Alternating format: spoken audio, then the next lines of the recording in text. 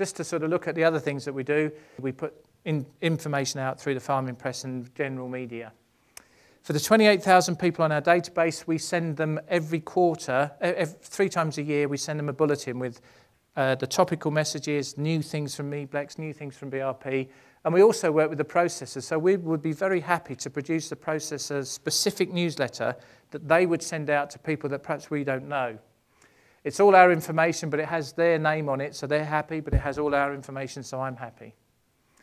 These are the publications. I've got a sample of them down here. These started off as supposedly a 15-minute read to introduce the topic to people. And whether you were really, there, should always be something in there to either remind you of something you've forgotten or something new that you didn't know about. They've actually got a little bit more sophisticated as the later ones have come on, but we've now got 50 of those in the, in the, uh, in the kind of library of BRP publications. On-farm events are one of our most important ways of engaging producers and getting uptake. So we ran 303 last year. Um, everything from a, an on-farm event where people are sitting on bales and they're there for two hours and it's quite a big open meeting down to that would be what we would call a one-to-many. And then we would do some one-to-few where we're working with 12 people in a more sort of intensive workshop. Uh, and we also do those for vets. So they're an important communication channel. We did a survey of farmers and said, who do you whose opinion and where do you get your information and whose opinion do you value? Uh, at that time, the levy board was actually quite a long way down. That was when I started, but vets were very high up. So it's important to, for us to get our messages through them. So all of our material goes to every vet practice in the country. And we run events for vets to engage with them and get them to understand the things that we want farmers to know and there's generally they're a very receptive audience because they're very good at the veterinary stuff.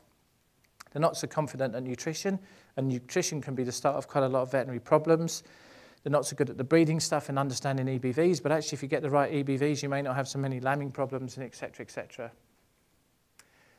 Um, this is something you should all go and try. So this is me doing my Tony Tomato bit. You should all go and flockcalendar.com uh, this is a calendar thing where you put your, your tupping date in, or your lambing date, whichever you want to. And I think it'll work for you guys because it's just based on you know 147 days from tupping to lambing. And if that's all the information you put in, you will get a series of alerts. So if you put the date in, say you're tupping, it will tell you two weeks before that your tupping is coming up and four weeks before that you should be putting your teasers in. And it will tell you when your clostridial vaccines are due, six weeks before they're due, your lambing right the way through the year. And you can, you can customize it. So if there's anything that you're doing in Canada that we're not doing, you can put the date in and it will send you an email reminder the Sunday before you're supposed to do that job. So it's a great way of reminding producers of the best practice. And it's a, if we've, we've got about 500 people on it at the moment. We launched it in September. It's a really good way of us reminding them. So um, we, do, we do pregnancy scanning in, in January. So, right, you should, you should be doing your pregnancy scanning next week then the week after. So you've got your pregnancy scanning results. Let's put those in the book so that we know what we should be expecting at lambing time. And if there's a difference, we might have a problem. This is our virtual plant tool. You can see all of these on our Eblex website. Basically, you can change the pH of the nitrogen or the P and the K, the phosphorus and potassium, and this plant changes and grows depending on how well you do it. So if you give it a poor environment, it looks really runty. If you give it a good environment, it looks great. And over here, it will tell you the kilograms of dry matter per hectare. That particular combination of pH and, every, and nutrients will give you. So you can see um, you can see the direction of travel you should be going in in terms of getting the right pH and potassium and so on. These are costings tools, going back to that point. So we've provided these online spreadsheets. You put your basic data in and it does all your key performance indicators. So instead of, this is English language, but instead of going down the pub and talking with your mates about lambing percentage, and half the time you're all you're defining lambing percentage as something completely different because I do it ewes put to the ram. A matey boy over there does it from sheep in the shed and how many lambs he gets from the sheep that are in the shed. But five might have died before they got there. So they're losses as far as I'm concerned. Um, or they might have aborted before they even got in the shed. So they're losses. So it's about, it, but the point is we're not talking on the same, we're not benchmarking on the same thing. So there's a, there's a language culture we have to overcome, but we also need to get people to keep those records and providing them with a simple tool to do that. It's the first step. Uh, this is an online ration um, tool, so if you're producing a ration, you want an 18% protein ration and you've got some things in your barn, you can put the, the beans and the barley and the oats and sugar beet, whatever it is you've got, it, there's, a, there's a directory of products, you can select those and you can play around with the mix of those to get your 18% ration. I talked, a lot of has been aimed at the average level of the industry. This is more for the innovators and the, uh, the uh, early adopters. This is our BRP Plus. So this is, instead of just the 15-minute introduction to the topic, this is the encyclopedia and all the scientific research. So for those that want it, it's only online. We don't print them, but it's the, uh, it's the higher level of message delivery. So we've got a, we, we haven't got so many of these, but we've got breeding from ewe lambs. We've got lucerne, lucerne and chicory and plantain for lambs. Uh, rush management was one that came up after we had a couple of really wet years, and rushes began to grow everywhere where they hadn't grown before. Uh, we also do a thing called the Grazing Club. So this is an online and a sort of a digital media thing uh, where we every month we send an email out with just our grazing messages and the things that people should do that month. And it goes out to our email address list, which is about 7,000 producers. Uh, and then we tweet messages from it. And it's basically things that we've done. So we haven't had to create all new messages, but we didn't have enough communication channels just for that message. Uh, here's an online webinar, so you can go online, click the button, and you can work through. This is about buying RAMs and being confident in terms of using performance figures to select the RAM that suits your system. And this is an online webinar that just takes you through that process and helps you select, helps you to understand how to use performance recorded figures. Uh, we've now got something called eBlex TV, which I think is really cool, using one of your words. We've got our own YouTube channel for our clips. And uh, it's something we wanted to do two years ago, and we're gradually getting there. We want to have a series of two-minute clips, so you can just click on two minutes. Injection practice. You see some of the young kids doing the stock judging, and they don't properly know where to inject an animal, and if it's an intramuscular injection or a subcutaneous injection, and what products would suit which injection and where they should do it.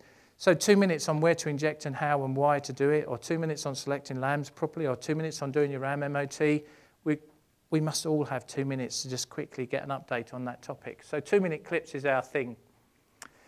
Uh, we do a costing service of about 400 enterprises for us to get a picture, a snapshot of what's going on in the, in the industry regarding finances. Um, and that, from that, we produce a publication which is normally pretty depressing in terms of who's making any profit within the industry.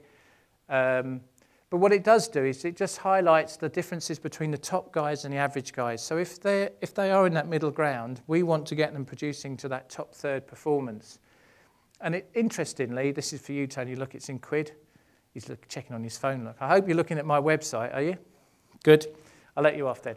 So, um, so what it shows is that actually the top third producers produced five five pounds. So what's that? Um, half of 17, uh, eight, eight dollars. So they, that actual output was eight dollars less than the average producers. But the reason they're in the top third for production is that their variable costs were considerably less. So 14 pounds on a on a sort of a 30, 40 pound sort of bill is actually a considerable reduction. So they're they're feeding less, they're using less veterinary products because their animals are healthier, they're bedding less. Whatever it is they're doing, they're spending less money, so they might be making less, but they're spending less. And the ultimate output is that they're producing uh, $17, $18 more per lamb. So the next stage on for that, and this is this new this year, is to sort of have, a, again, a series of online tools where producers can put uh, their own information that would create a gross margin into, a, into there. So you can go online, you've got your own account, you can set it up, you put your information in, or you might be able to want to do it through the year. And then uh, that will be up here. And then we want to work with, uh, I don't know if Mike's in the room, can't see him for the minute. We want to work with the likes of uh, Shearwell who've got software programs to export that data into here. So if you're using an on-farm farm package, export the report, the eBlex report into this, into here and then you can go into the compare.com over here and you can compare your data with all of our stock take average. You can select whether you want to do it against the average, the top third, or we've made up some target farms that sort of express our ideal picture of what producers should be, do, should be doing. And then if you've done that one year, you can compare this year's data with your data from last year. So it's, it's stuff that people should do for themselves, but it just makes it easy for them. And then uh, you can come down here, and once you put your data in, you can say, so what if the feed prices drop this year? What difference will that make to my cost of production? Or what if I do what eBlex says and I reduce my lambing percentage? I work on my, I work in the lambing shed and I, I, I use the right sort of drugs and look after lambs and I reduce my lambing percentage. What difference would that make to my enterprise? Is it worth me doing all that effort? You can just play the what if game down here and it will, it will try and give you a financial sort of uh, uh, image of what that scenario might look for you. Uh, and then here's the herd and the flock calendars up here. So in here, we've tried to sort of categorize a number of farms that we think will be the popular, most popular systems uh, for those target farms. Uh, so evaluating BRP, we're spending levy payers' money and we're always called to task. So we have to try and evaluate and put, a, put an output, a benefit to the industry from this investment we've made on behalf of levy payers. So the hard numbers are those 303 events I told you about, roughly 5,000 people went to them. At every single one of those events, they would fill in a feedback form. We call them happy sheets at the end of the event. So you fill in, you know, was it easy to get to? Were the road signs okay? Were the speakers on, on message? Did they go on too long, or et cetera, et cetera? And have you learned anything, and are you going to go home and use it, which are the key things as far as I'm concerned. And then actually we follow up about three, we, we follow up a thousand of those attendees six months later, and we ask them similar questions about, so we, from our records, we see you went to an event, have you put anything into practice since you got home? And and uh, at the last one, 70% of the people that went to one of our events did adopt something they learned at the event and put it into practice. And 98% uh, of those reckoned it had made a financial improvement. So there's sort of hard facts to say to people we invest a lot in the events, but there's clear uptake of those messages. It's really getting across to producers. And actually, the, the, another nice one I like that 71% of them then shared one of those ideas with somebody else. So we're kind of spreading out 5,000 people went, but whatever 70% of 5,000 is, shared that with somebody else. Uh, three or four years ago, we also did some telephone survey work that asked a range of questions about the things that we do. And I just pulled out a couple of stats here. So we asked them about all of it, some of these things I've talked to you about this afternoon. We asked whether they'd seen them and whether, you know, whether it was a good form of communication for them or not. And farmers in the UK still like to receive something through the post. Cordelia mentioned it, you know, the hard copy. They still like to receive a hard copy. Um, email was at that time wasn't particularly brilliant, and neither was the website. Um, the, at, at, that particular time, the average implementation, so we asked them if they'd implemented anything that they'd seen or got from us, and that was down here, so that sort of shows a relatively positive uptake. And we asked them to score the things that they did. So everyone sort of scored what we so even if they didn't use the website, if they had used it, those people that had liked it. So what it shows is back to that chart I showed you that people, not everybody uses the website, but you've got to make sure that those do use who do those who do use the website value it and see it as good. And then this one was, um, have you seen it and have you used it? So it just shows that the leaflets, the stuff they, we posted them was used the most and the DVDs and the websites weren't down here. So that to me is just important that even though we put a lot of stuff on the website, we have to realize that is not for the big chunk of the audience still. It may have changed in the last three or four years, and it is shifting in that direction of more sort of internet savvy people. And as the younger generation come through, then I think that's obviously the way to go. They all want it on their phones, not just on their computers.